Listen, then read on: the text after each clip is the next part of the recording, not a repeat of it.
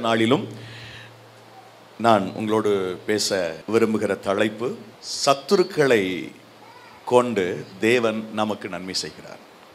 சத்துருக்களை கொண்டே தேவன் நமக்கு நன்மை செய்கிறார். சத்துருக்கள்னு சொன்னாவே நமக்கு மனசுல சத்துருவே இல்லாத ஒரு வாழ்க்கை இருந்தால் நல்லா இருக்கும். இந்த எதிராளிகளே இல்லாத ஒரு வாழ்க்கை இருந்தால் அது பரலோகம் மாதிரி இருக்கும். ஆனால் சத்துருக்களை கொண்டு தேவன் சில நன்மைகளை நம்முடைய வாழ்க்கையிலே செய்கிறார். யோபு புத்தகம் ஐந்தாம் அதிகாரம் இருபத்தி இரண்டு மற்றும் இருபத்தி மூன்றாவது வசனங்களை வாசிக்க கேட்போம். பாழாக்குதலையும் பஞ்சத்தையும் பார்த்து நகைப்பீர். காட்டு மிருகங்களுக்கும் பயப்படாமல் இருப்பீர். வெளியின் கல்லுகளோடும் உமக்கு உடன்படிக்கை இருக்கும். வெளியின் மிருகங்கள் உம்மோடே சமாதானமாய் இருக்கும். இந்த வசனத்தை நான் சொல்லும்போது மீண்டும் வாசிங்க. அப்படி பத்திரமா வச்சுக்கோங்க. சத்துருக்கள் அப்படின்னு சொல்லும்போது நாம் சத்துருக்களுக்காக பயப்பட வேண்டிய அவசியம் இல்லை. இங்கே காட்டு மிருகங்களை குறித்து வாசிக்கிறோம். அதை குறித்து நான் இடையில் சொல்லுகிறேன். அதாவது சத்துருக்கள் நம்முடைய வாழ்க்கைக்கு நம்முடைய வாழ்க்கைக்கு விரோதமாக சத்துருக்கள் எழும்புகிற போது நாம் சோர்ந்து போக வேண்டாம்.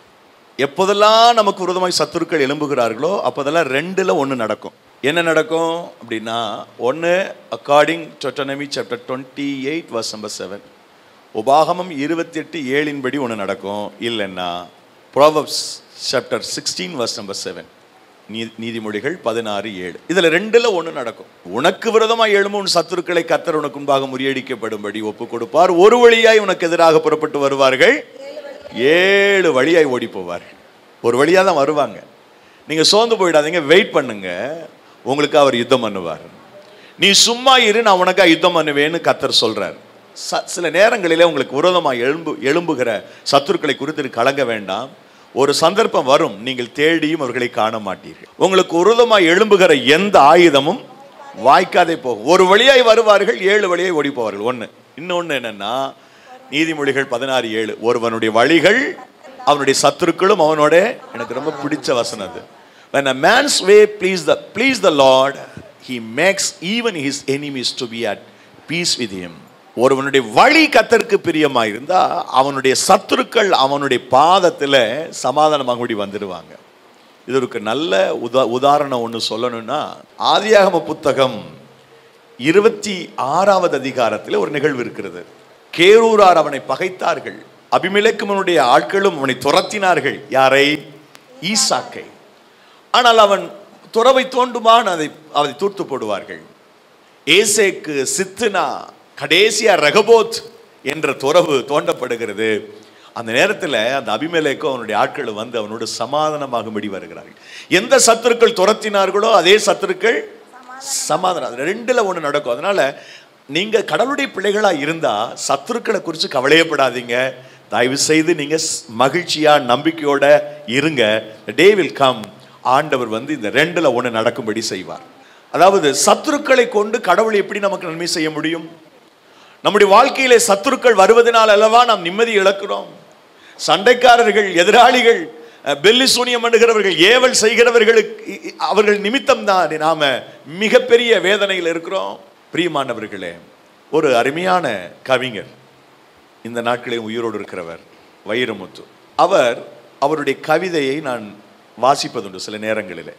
சினிமா பாடல்களில் அவர் எழுதிய கவிதைகள் அதில் ஏதோ ஒரு சந்தர்ப்பத்தில் அவர் அவருடைய கவிதை அந்த அந்த கருத்தை மாத்திரம் சொல்கிற அவங்க தாத்தாவுக்கும் அவருக்கு இருந்த கலந்துரையாடலை கவிதையாக வடித்திருந்தார். அவங்க தாத்தா சொன்னாராம் மரம் வெட்ட வெட்டத்தான் பேராண்டி வெரசா வளரும் அப்படின்னு சொன்னாராம். மரம் வெட்ட வெட்டத்தான் வெரசா வளரும். உன் வாழ்க்கையில் எதிரிகள் வருகிறார்கள் உனக்கு உன்னுடைய உன்னுடைய முயற்சிகளுக்கு அவர் முட்டுக்கட்டை போடுகிறார்கள் வளர்ச்சியை கெடுக்கிறான்னு சொன்னால் கவலைப்படாத. ஒவ்வொரு முறையும் இந்த போராட்டம் வருகிற போதெல்லாம் நீ வளர்ந்து கொண்டே இருக்கிறாய் என்று பொருள் மற்றொரு கவிஞன் மறித்து போன கவிஞன் கண்ணதாசன். அவருடைய கவிதை ஒரு ஒன்று ஒரு வரியும் எனக்கு ஞாபகம் வரியா தெரிய ஞாபகம் இல்லை ஆனால் அதனுடைய கருத்தை சொல்கிறேன் அவர் என்ன சொல்கிறாருன்னா கஷ்டமே இல்லாத வாழ்க்கை எதிராளிகளே இல்லாத வாழ்க்கை துன்பமே இல்லாத ஒரு வாழ்க்கை இருந்தால் எனக்கு எவ்வளோ நல்லா இருக்கும். ஆனால் என்ன நான் உணர்வில்லாத ஒரு மரக்கட்டை போல வாழ்வேன் என்று சொல்கிறார். ஸோ வாழ்க்கை அப்படின்னா அங்கே ஒரு எதிர் விசை தேவைப்படுகிறது. நீங்கள் வளருவதற்கு எதிர் விசை தேவைப்படுகிறது. ஒரு உயிருள்ள மீன் என்பது ஓடுகிற தன்னுடைய விசையில் ஓடாது. ஓடுகிற தண்ணியில். ஒரு உயிருள்ள மீன் ஓடுகிற திசை நோக்கி போகாது. மாறாக எதிர் திசைக்கு வரும்.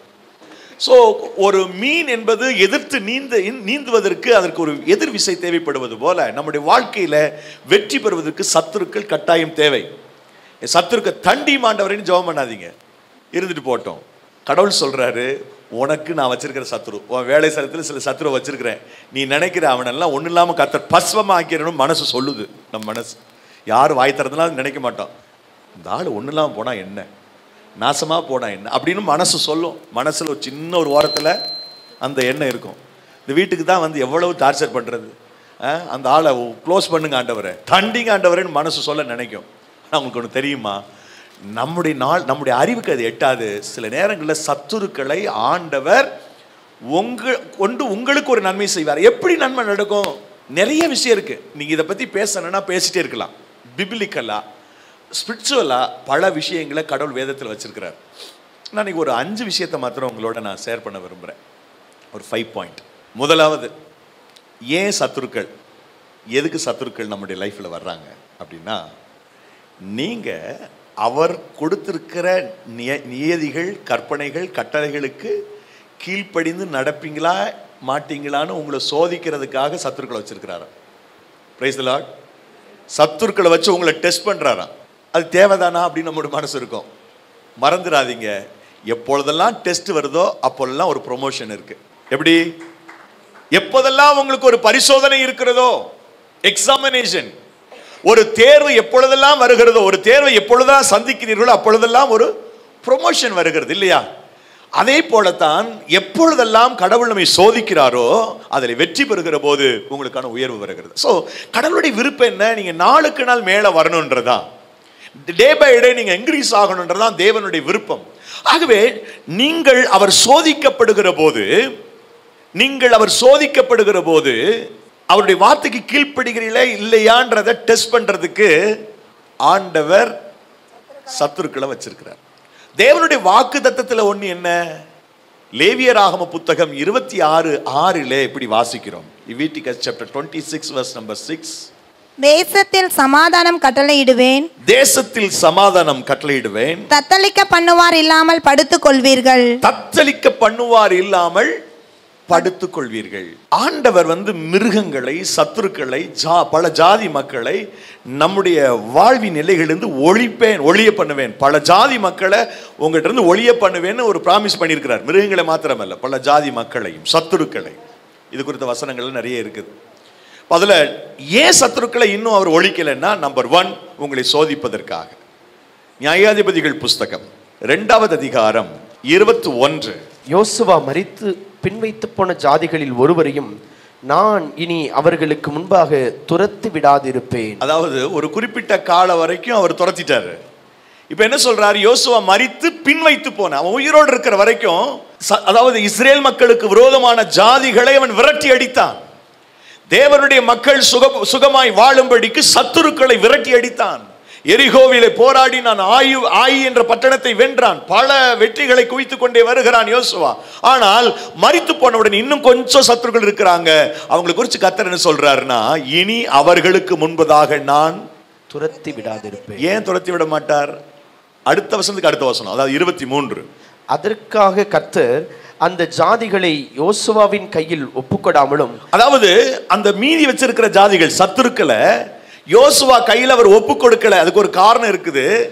அவைகளை சீக்கிரமாய் துரத்தி விடாமலும் விட்டு வைத்தார். எதற்காகன்னு சொன்னா வசனம் இருபதுல இருக்குது. ஆகையால் ஆ. கர்த்தர் இஸ்ரவேலின் மேல் கோபம் உண்டவராகி. இந்த ஜனங்கள் தங்கள் பிதாக்களுக்கு நான் கற்பித்த என் உடன்படிக்கையை மீறி என் சொல்லை கேளாதே போனபடியினால் யோசுவா மரித்து பின்வைத்து போன ஜாதிகளில் ஒருவரையும் நான் இனி அவர்களுக்கு இருபத்தி ரெண்டு அவர்கள் பிதாக்கள் கத்தரின் வழியை கவனித்தது போல அவர்கள் அதிலே நடக்கும்படிக்கு அதை கவனிப்பார்களோ இல்லையோ என்று அவர்களை கொண்டு இஷ்டவேளை சோதிப்பதற்காக அப்படி செய்வேன் என்றார். நீங்க தேவனுடைய கற்பனையின்படி நடப்பீங்களோ இருக்க மா நடக்க மாட்டீங்களோன்னு உங்களை டெஸ்ட் பண்றதுக்காக அவர் வச்சிருக்கிறாராம் சத்துருக்களை. அப்ப சத்துருக்கள் நமக்கு இருப்பது நல்லதா கெட்டதா? இருந்துட்டு போகட்டும். பெரிய கூட்டம் இல்லை. அங்கங்கே ரெண்டு மூணு பேரை வச்சிருப்பார். எதுக்காகனா உங்களை டெஸ்ட் பண்ணி உங்களை ப்ரோமோட் பண்ணுறதுக்காக ஆமேன் என நான் ஐ நீட் ப்ரொமோஷன் எனக்கு ஒரு ப்ரொமோஷன் தேவை. கடவுள் என்னை உயர்த்தணும் நான் விரும்புகிறேன் அப்படின்னு சொன்னால் சத்துருக்கள் கட்டாயம் இருப்பாங்க. அவங்கள வச்சுக்கிட்டு கத்தை டெஸ்ட் பண்ணுவார். ஒரு நிகழ்வு எனக்கு ஞாபகத்துக்கு வருது. ரஷ்யாவில் சட்டம் ரொம்ப பெரிய அளவுக்கு இருந்தது. இந்த மாதிரி கூடி ஜெபிக்கிறதுக்கு எகெயின்ஸ்டாக கம்யூனிஸ்ட் தேசத்தில். கொர்பசேவனுடைய காலத்துக்கு பிறகு தான் அந்த சட்டம் தளர்த்தப்பட்டது. ரஷ்யாவில் மிக ஒரு கடுமையான தண்டனை. இப்படி கூடி ஜோம் பண்ணாவே தண்டனை தான் அங்கே. அதனால என்ன பண்ணாங்க? பாஸ்டர்லாம் வந்து காடுகளிலே போய் மறைஞ்சு ஒளிஞ்சு போய் கெபிகளிலே அப்படி கூடி ஜோம் பண்ணாங்க. இதை வாட்ச் பண்ணுறதுக்கும் ஆர்மி அங்கங்கே வாட்ச் பண்ணிட்டே இருப்பாங்க. ஒரு வாலிப மகள் ஏதோ கையில் வச்சிருக்கிறா பைபிள் மாதிரி இருக்குது சந்தேகம் வந்துருச்சு ஆர்மிக்கு. அந்த பொண்ணுக்கு தெரியாமல் ரெண்டு பேர் அப்படியே ஃபாலோ பண்ணுறாங்க அந்த பெண் காடுகளுக்குள்ளே அப்படியே வளைஞ்சு வளைஞ்சு போய் கடைசியாக ஒரு கெபியில் போய் நுழைஞ்சிட்டா. இந்த ரெண்டு பேரும் மெதுவாக ஆர்மிக்காரங்க எட்டி பார்த்தா உள்ள ஒரு பத்து இருபது பேர் முழங்கால் போட்டு ஜோம் பண்ணிட்டு இருக்காங்க. பாஸ்டர் ஆராதனை எடுத்துக்கிட்டு இருக்கிறார் உள்ளுக்குள்ளே. இந்த ரெண்டு பேரும் துப்பாக்கியோடு உள்ளே போனாங்க. எப்படி இருக்கும்? நடுங்கி போயிட்டாங்களா அவங்க. சொன்னாங்க ரெண்டு பேரும் இயேசுதான் எனக்கு வேணும்னு சொல்கிறவங்க இந்த கெபியில் இருங்க. இயேசு வேண்டாம் நான் தெரியாமல் வந்துட்டேன். இந்த சட்டத்தை மதித்து த- மதிக்காமல் தெரியாமல் வந்துட்டேன். நீ மன்னிச்சிருங்கன்னு சொல்கிறவங்க வெளியில் போகலாம் அவங்களுக்கு உயிர் பிச்சை. இயேசுதான் தெய்வன் இருக்கிறவங்க இருங்க சுட்டு சுட போகிறோன்ட்டாங்க ரெண்டு மூணு வயசானவங்க பாஸ்ட் இவங்களை தவிர எல்லாம் ஓடி போயிட்டாங்க. வயசான பாட்டிய மக்கள்லாம் ஓடுறதுக்கு ஒரே பலன் இல்லாமல் இருக்கு. எப்படி சாக போகிறோம் எப்படி சத்தாத்தா என்ன? போ அப்படின்னு வயசானவங்களாம் இருக்கிறான் ரெண்டு வயசு மூணு வயசு மூணு வயதான ஆட்கள் இருக்குது பாஸ்ட் வேறு வழி இல்லாமல் பாஸ்ட் இருக்கிறார். அவங்கெல்லாம் வெளியில் போனோடனே ரெண்டு பேரும் துப்பாக்கி கீழே வச்சுட்டு அப்படியே சாஸ்டாங்கமாக முழங்கால் போட்டாங்களாம். பாஸ்டர் பாஸ்டர் சொன்னாங்க நாங்கள் பிலிவர் தான். சீக்கிரட்டாக இயேசு விசுவாசிக்கிறோம். மிலிட்ரியில் இருக்கிறோம் ஆர்மியில் இருக்கிறோம். இந்த கூடி ஜபிக்கிறதுல எத்தனை பேர் உண்மையாக இருக்கிறீங்கன்னு டெஸ்ட் பண்ணுறதுக்காக தான் சொன்னோன்னா எல்லாம் போன பிறகு. ஆக மூணு வயசான கிழவிகளும் பாவம் போல இந்த பாஸ்டர் மட்டும் இந்த நாலு பேர் தான். இது மாதிரி சில நேரங்களில் கடவுள் வந்து நாம் அவருடைய கற்பனைப்படி நடக்கிறோமா? நடக்க மாட்டோமா என்பதை அவர் சோதிப்பதற்காக ஆண்டவர் சத்துருக்களை வச்சிருக்கிறார். சில நேரங்களில் நாம் எவ்வளவு ஸ்ட்ராங்காக இருக்கிறோம் எவ்வளவு உறுதியாக இருக்கிறோன்றத ஆண்டவர் பார்க்குறாரு. அச்சுறுத்தல். சில மனிதர்களுக்கு பயந்துட்டு கடவுளை விட்டுறோம் தேவனுக்கு எதிராக பேசுகிறோம் பாடுகள் உபத்திரவங்களுக்கு நடுவிலே அவமானத்துக்கு நடுவில் நாம் ஆண்டவரை சேவிக்கிறோமா? இயேசு கிறிஸ்து ஒரு முறை கேட்டார்.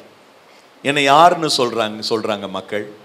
எளியான்னு சொல்கிறாங்க மறித்து போன யோவான்னு சொல்கிறாங்க தீர்க்கதரிசனத்தை சொல்கிறாங்க சரி, நீங்கள் என்ன சொல்கிறீங்கப்பா அப்படின்னு கேட்குறாரு.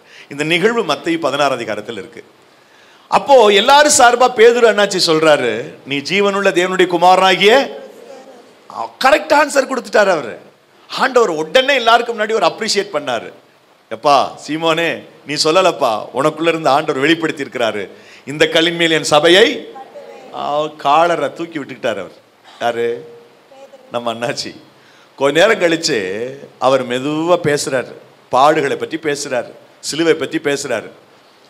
இவர் என்ன பண்ணுறாரு நம்ம பேதுரு? அவரை சைகை காமிக்கிறார். யாருக்கு? ஒரு நிமிஷம் வாங்கலைங்க யார?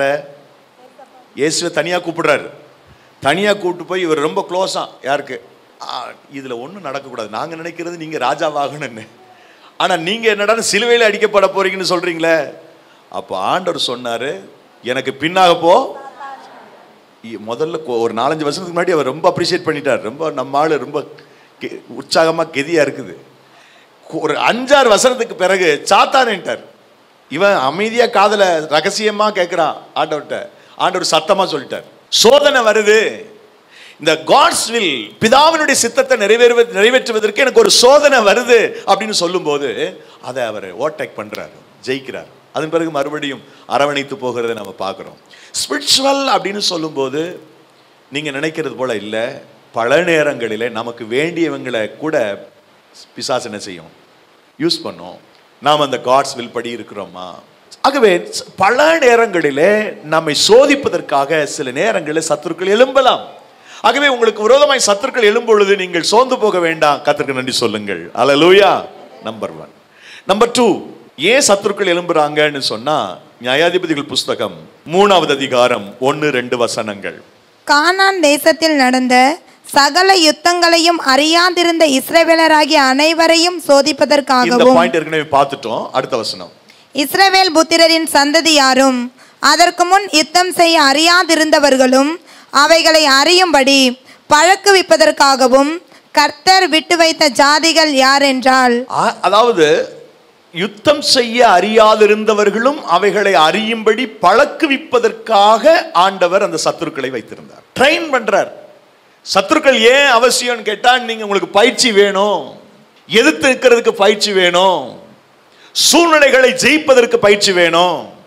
எத்தனை பிரச்சனை வந்தாலும் நான் தளர்ந்து போகாமல் நின்று சமாளிப்பென்ற மன உறுதியை நான் பெற்றுக்கொள்வதற்கு சத்துருக்கள் அவசியம். அலலூயா எத்தனை சத்துருக்களை நம்ம பார்த்துருக்குறோம்ல? ஆண்டவர் ஜெயத்தை கொடுத்துருக்கிறார். நீங்கள் வரைஞ்சு கட்டிட்டு போயிடக்கூடாது சண்டைக்கு. அவர் சத்துருக்களை நமக்கு தருவதற்கான இரண்டாவது காரணம் யுத்தத்தில் பயிற்றுவிப்பதற்காக. என்ன யுத்தம்? ஆவிக்குரிய யுத்தம். ஸ்பிரிச்சுவல் வார்ஃபேர் அந்த ஆவிக்குரிய யுத்தத்தை நீங்கள் செய்வதற்கு பயிற்றுவிப்பதற்காக ஆண்டவர் சத்துருக்களை வச்சிருக்கிறார். ஒன்று சாமுவேல் புத்தகம் பதினாறாம் அதிகாரம் பதிமூணாவது வசனத்தில் இஸ்ரேல் தேசத்தினுடைய ராஜாவாக தாவீது அபிஷேகம் பண்ணப்படுகிறான். அவன் அறிந்தான் அறிந்திருந்தான் என்ன நான் தான் அடுத்த ராஜான்னு. ஆனால் சவுளுக்கு சவுள் என்ற ஒரு சத்- சத்ருவாவே அவன் உருவாயிட்டான் தாவீதுக்கு. ஈட்டி எடுத்து ஓடுவான் குத்துறதுக்கு. பல சத்துருக்கள் அவனுக்கு இருந்தாங்க. அதனாலதான் சங்கீதக்காரன் பாடுகிறான் சத்துருக்கள் எவ்வளவாய்? எவ்வளவாய் சத்துருக்கள் எனக்கு பெருகி இருக்கிறார்கள்? ஏன் இந்த சத்துருக்கள்னு சொன்னா இந்த பதினேழாம் அதிகாரத்தில் நீங்க படிச்சீங்கன்னு சொன்னா ஒன்று சாமுவேல் புத்தகம் பதினேழாம் அதிகாரத்துல முப்பத்தி மூன்றாவது வசனம். அப்பொழுது சவுல் தாவீதை நோக்கி நீ இந்த பெலிஸ்தரோடு எதிர்த்து யுத்தம் பண்ண உன்னால் ஆகாது. நீ இளைஞன். அவனோ தன் சிறுவயது முதல் யுத்த வீரன் என்றான். உனக்கு யுத்தம் தெரியாது? சண்டை போடுறது தெரியாது? அன்ட்ரைன்ட் அதாவது பயிற்சி அற்றவன் நீ. உனக்கு அந்த கலை தெரியாது. நீ சௌந்தரிய தேகம் உள்ளவன் ஆடு மேய்க்கின்றவன் யுத்தத்தை செய்வதற்கு பழக்கம் இல்லை என்று சவுல் சொல்கிறான் உண்மைதான் அது ஆகவே பதினாறாவது அதிகாரத்திலே ராஜாவாக அபிஷேகம் பண்ணப்பட்ட இந்த தாவீது பல காலங்கள் காத்திருக்க வேண்டியிருந்தது. ஒவ்வொரு சத்துருக்களையா சந்திச்சு சந்திச்சு யுத்தம் பண்ணி யுத்தம் பண்ணி யுத்தம் பண்ணி ஆண்டவரனை பயிற்றுவித்தார். மிகப்பெரிய ஒரு ஒரு யுத்த வீரனாக அவனை மாற்றினார். ஒரு பெலிஸ்தியனை எதிர்கொள்ள போகிற போது அவனை குறிந்திருந்த நிலைப்பாடு அது. எப்பா அவன் சின்ன வயசுல இருந்து யுத்த வீரனப்பா. நீ மாட்டிக்குவ வேண்டாம் அப்படின்னு சொல்றான். சவுள் ஆனால் அவன் கேட்கல. அது வேற விஷயம். ஆனால் இந்த சவுள் தாவிது உடனே ராஜாவாக மாறலை. சத்துருக்கள் இருந்துக்கிட்டே இருந்தாங்க. ஏன் அப்படின்னு கேட்டா அவன் யுத்தத்திலே தன்னை தயார்படுத்திக் கொள்ள வேண்டும் ஆயத்தப்படுத்தி கொண்டே இருந்தார். அதனால தான் ஒரு பெலிஸ்தீன் அல்ல பெலிஸ்திய கூட்டத்தையே ஓட ஓட விரட்டினான். ரெண்டு சாமுவேல் புத்தகத்தின் அஞ்சாம் அதிகாரம் பதினெட்டு தொடக்கம் முடிகிற வரைக்கும் பார்த்தீங்கன்னா இரண்டு முறை ரெப்பாயும் பள்ளத்தாக்கிலே பெலிஸ்தர்கள் வருகிறார்கள். ஒரு பெலிஸ்தியனுக்கு விரோதமாக எழும்பும் பொழுது ஐயா நீ உனக்கு யுத்தம் செய்ய தெரியாது என்று சொன்ன சவுல் இப்பொழுது நிலைமை வேறு. ஒரு பெலிஸ்திய படையே விரட்டி அடிக்கக்கூடிய ஆற்றல் உள்ளவனாக தாவிது மாறினான். ஏன் சத்துருக்கள்? ஏன் எனக்கு விரோதமாய் பகைவர்கள் எழும்ப வேண்டும்? ஏன் எனக்கு உலகமாக எதிராளிகள் எழும்ப வேண்டும்? அன்பானவர்களே நீங்கள் ஆவிக்குரிய யுத்தத்தை செய்து நீங்கள் தேர்ச்சி பெறும்படிக்கு ஆண்டவர் சத்துருக்களை அனுப்புகிறார். அலலூயா நீங்க போராடி ஜெபம் பண்ணுவீங்க மன்றாடுவீங்கன்னு தெரியும். ஒரு சத்துரு எழும்பும்போது சும்மா இருக்க மாட்டோம் இல்லையா? உடனே முழங்கால் படியிடுவோம் சில நேரங்களில் சத்துருக்களை ஆண்டவர் நமக்கு வைத்திருப்பதே நம்ம யுத்தத்திலே பழக்குவிப்பதற்காக. மூன்றாவது யாத்திராகம புஸ்தகம். இருபத்தி மூன்றாம் அதிகாரம் இருபத்தி எட்டாவது வசனம். தேசம் பாழாய் போகாமலும் காட்டு மிருகங்கள் உனக்கு விரோதமாய் பெருகாமலும் இருக்கும்படி நான் அவர்களை ஒரே வருஷத்திற்குள்ளே உன் முன்னின்று துரத்தி விடாமல் காட்டு மிருகங்கள் உனக்கு விரோதமாய் பெருகாம இருக்கிறதுக்காக சாதிகளை வச்சிருக்கிறேன். ஏனென்றால் இவர்கள் நாற்பது ஆண்டுகள் பயணம் செய்கிறார்கள் வனாந்தரத்தில். நாற்பது ஆண்டுகள் பயணம் செய்துவிட்டு காணான் தேசத்துல வர்றாங்க. அங்கே காடுகள் இருக்கிறது. நிறைய மக்கள் இருக்கிற இவங்களுடைய வாக்குத்தத்த தேசம். ஆகவே எல்லா ஜாதி மக்களும் போனால் கூட கொஞ்சம் ஜாதி மக்கள் இங்கே இருந்தார்கள். ஏனென்றால் அங்கு காட்டு மிருகங்களை கண்ட்ரோல் பண்ணணும். அதுக்கு கொஞ்சம் மக்கள் வேணும். நீ போய் அதை செய்ய முடியாது. நீ போய் விவசாயம் பண்றதுக்கே உனக்கு டைம் இல்லை. காடுகளை சீர்படுத்தணும். காட்டு மிருகங்களை கண்ட்ரோல் பண்ணணும். அதுக்கு கொஞ்சம் பேர் வேணும்ப்பா. பிரைஸ் கொஞ்சம் பேர் வேணும். காட்டு மிருகங்களை அவர் கண்ட்ரோல் பண்ணுறதுக்காக சத்துருக்களை வச்சிருக்கிறாராம். காட்டு மிருகங்களை ஆண்டவர் கொடுப்பதற்காக கண்ட்ரோல் பண்ணுறதுக்காக அது பெருகாதபடி அந்த வசனத்தை பாருங்கள் காட்டு மிருகங்கள் உனக்கு விரோதமாய் பெருகாமல் இருக்கும்படி நான் அவர்களை ஒரே வருஷத்திற்குள்ளே ஒன்று முன்னின்று துரத்தி விட மாட்டேன். ஏன் சத்துருக்கள்? நீ செய்ய வேண்டிய வேலையை சில மனிதர்கள் உனக்காக செய்ய போறாங்க. பிரைஸ் ஏன் இவங்க எழும்ப எழும்பி இருக்கிறாங்க நமக்கு விரோதமான கோ யோசிக்காதீங்க. அவங்களை கொண்டு வேறு ஒரு காரியத்தை கத்த செய்ய போகுது சத்துருக்கள் உங்களுக்கு விரோதமாய் எழும்புவது நல்லது. ஏனென்றால் நீங்கள் காட்டு மிருகங்களால் தீங்குக்குள்ளாகாதபடி கத்திரங்களை பாதுகாப்பார். பிரைஸ் லார்ட் அல்லேலூயா ஆக சத்துருக்கள் எழும்புறாங்களேன்னு சோர்ந்து போகாதீங்க. உங்களுக்காக கத்தர் உங்களுக்கு நன்மை செய்யும்படி இவளை வச்சிருக்கிறார். இப்போ சில நேரங்கள் ஏது நடக்குது? ஏன் இப்படி இந்த கா- ஆண்டவர் சத்துருக்களை வச்சிருக்கிறாருன்னு சொன்னா எப்பா உனக்கு தொல்லை இருக்கக்கூடாதுன்றதுக்காக ஆளை உனக்காக வச்சிருக்கிறார் அவர். உன் வேலையை அவங்க செய்வாங்க. பிரைஸ் அந்த மிருக காட்டு மிருகங்கள் விருத்தி அடையாமல் அதை கண்ட்ரோல் பண்ணுறதுக்கு உனக்காக அவர்கள் வேணும். நமக்காக சில காரியங்களை செய்வதற்கு ஆண்டவர் சில மனிதர்கள் சில இனங்கள் அவர்கள் உங்களுக்கு சத்துருக்களாய் தோணலாம். கவலைப்படாதீங்க. உங்களுக்காக கத்தர் அவர்களை முன்குறித்து வச்சிருக்கிறார். அல்லேலூயா நான்காவதாக அடுத்த வசனம். நீ விருத்தி அடைந்து தேசத்தை சுதந்திரித்துக் கொள்ளும் வரைக்கும் அவர்களை கொஞ்சம் கொஞ்சமாய் உன் முன்னின்று துரத்தி விடுவேன். நீ விருத்தி அடைந்து தேசத்தை சுதந்திரிக்கு சுதந்திரித்துக் கொள்ளும் வரைக்கும் அவர்களை கொஞ்சம் கொஞ்சமாய் உன் முன்னின்று துரத்தி விடுவேன். ஏன் சத்துருக்கள் தேவை? நாம் விருத்தி அடைவதற்கு அதாவது ஆளுகை செய்வதற்கான சக்தி நமக்கு வேணும். நிர்வாக திடீர்னு ஒரு விஷயத்தை நம்ம முன்னெடுக்க முடியாது. நமக்கு ஒரு ஆளுகை செய்வதற்கான திறன் வேணும். அது வரைக்கும் சத்துருக்கள் இருப்பார்கள். நீ விருத்தி அடையணும். தாவியனுடைய லைஃப்ல அது நடந்துச்சு. David become increase day by day because God was with him. Second Samuel chapter five verse number ten ரெண்டு சாமிகள் ஐந்து பத்தில் இருக்கிறது. அவன் நாளுக்கு நாள் விருத்தி அடைந்தான் என்றால் கத்தர் அவனோடு இருந்தார். அந்த விருத்தி அடைகிற வரைக்கும் சத்துருக்கள் அவசியம் போராட்டங்கள் எதிர்ப்பு அவசியம். நீங்க அதை கடந்து போகும்போது தான் உங்களுக்கான எல்லையை சுதந்திரிக்க முடியும். உங்களுக்கான ஆசீர்வாதங்களை சுதந்திரிக்க முடியும். ஸோ நல்லா தெரிஞ்சுக்கோங்க. ஜீசஸ் கிரைஸ்ட் வந்து தன்னை நம்புகிற பிள்ளைகளை ஆசிர்வதிப்பதில் மிக கவனமாக இருக்கிறார். ஆனால் நாம் செய்ய வேண்டிய வேலை நிறைய இருக்குது நாம் செய்ய வேண்டிய வேலை நிறைய இருக்குது நாம் வேதவசனத்துடைய ஒழுங்கின்படி ட்ராவல் பண்ணும்போது நிச்சயம் அவர் நம்மை ஆசிர்வதிப்பார். நம்மளை பிளஸ் பண்ணுவார். எனக்கு என்னுடைய பதினாறாவது என்னுடைய இறுதியில் ஆண்டவர் பேசினார். நான் உனக்கு காண்பிக்கிற தேசத்துக்கு போ. என்று என்னோடு பேசினார். நான் உன்னை ஆசிர்வதிப்பேன். ஐ வில் பிளஸ் யூ எனக்கு என்ன- எனக்கு ஆண்டவர் என்னோடு பேசினார். அந்த நிலையில் இந்த பதினாறு வயதில் என்னுடைய பெற்றோர் இல்லை இறந்து போயிட்டாங்க.